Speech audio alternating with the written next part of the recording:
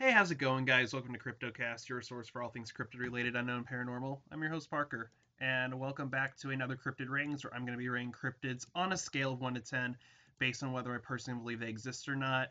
And I got a new one for you. It's new to me, and I, I'm surprised I never heard of this one because it's really bizarre. We got the Rompo here, and this guy's really, I don't know exactly what he is. He looks like a rat, cat creature but it said that the Rompo has sort of like the face of a hare, um, a horse's mane, and a longer cat-like body with a cat-like tail. Um, the ears on it are very weird because they they they're said to resemble human ears, which if you look at the picture, those do look like human ears. Um, and it looks innocent and cute, right? Like I, I want one of these as a pet, but it's main source of food is human carcasses. So if the Rompo finds a human carcass, it won't eat it instantly.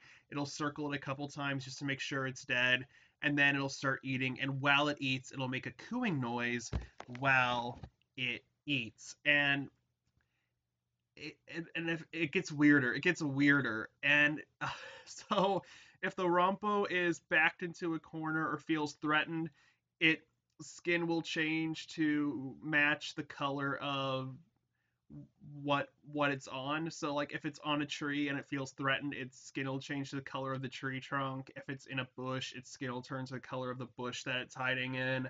Um, it's just very weird. It's also it's kind of like a chameleon in a way when they can change colors, but it's it's really really bizarre. I've never heard of like a mammal doing that, but people say that they could be like early porky like early like um sightings of porcupines which would make sense because porcupines kind of have that shape head. Porcupines are rodents. I know rabbits aren't rodents and they're a part of a different family but they all kind of have that same sort of head shape um, I've never seen a porcupine's ears, so I can't say for sure on that. The horse's mane on the rompo could be the quills on the back, and porcupines can get pretty big. I mean, especially especially in Africa. There's some really big porcupines that live in Africa. So that could be like the cat-like body and stuff, but it's porcupines are weird. So I do believe that these could have been early sightings of the porcupine. I'm not 100% sure, but Rompo gets a let's give it an 8 out of 10 on the cryptid rating scale just because I believe that these could have been porcupines. Um, if not, it's a new species, which is really cool. But I give it an 8 out of 10 because I really think they're porcupines. So if you like this video, be sure that like button. You can dislike it if you dislike it. I heard if you dislike this video, um, the Rompo will... Oh... What will the Rompo do? Actually, you guys let me know what the Rompo would probably do if you didn't like this video in the comment section below. The comments are good for the algorithm. Um, but yes, and also if you're new guys, please consider hitting the subscribe button, become a member of the crypto crew today. It would mean the absolute world to me. And I appreciate you guys watching. I will be back on Saturday with a Mythical Menageries video. Depending on how I feel, I am getting my first um, vaccine that day, so we'll see how that goes. I may be up for it, I may not be, but we'll see. I might film it tomorrow night just in case.